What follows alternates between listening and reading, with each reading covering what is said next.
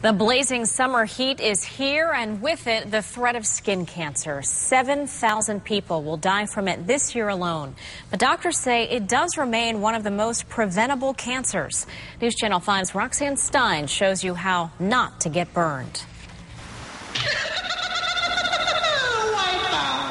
Whether it's catching a wave or taking a dip, working outside or working out. We're exposing ourselves to a killer every single day. It all started when I saw a mole in my leg. Grant Gussing is one of 53,000 men and women who will be diagnosed with melanoma this year. It started out like this on his leg. Would you know what to look for? Check out your moles for the ABC and D's of melanoma. First, is your mole asymmetric, with one side bigger than the other? Check the border for jagged edges. Then move on to the color. Does the mole have different colors and is it larger than 6 millimeters in diameter? If you answered yes to any of these, see a doctor. And even if you don't have issues now, protect yourself before you head outside.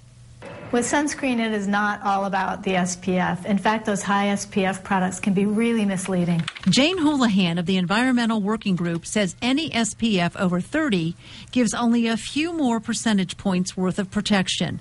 And never ever wear anything under SPF 15. But it doesn't tell you about the other side of sun radiation, what's called UVA radiation, and that's linked to skin damage and aging and cancer too. Each year, the EWG releases its list of the 1800 best and worst sunscreens.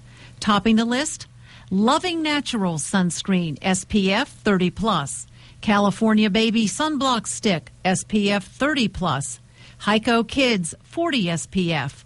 Also, grab sunblock with zinc. You want to look for sunscreens without oxybenzone. That's a chemical that acts like hormones and it might be harmful to your health. It absorbs through the skin. When it comes to your eyes, not all sunglasses are created equal. In fact, cheap sunglasses could hurt your vision. Most generic shades only stop the visible spectrum rays of the sun or those painful to look at. Be sure to look for UVA and UVB protection. As for Grant, he beat his battle with the sun. I'm good to go, 100%. In hopes that you won't let the sun get the best of you.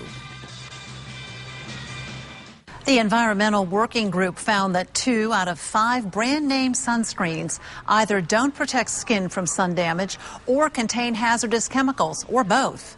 If you'd like more information, go to WPTV.com and click on the Seen on 5 tab. Roxanne Stein, WPTV News Channel 5.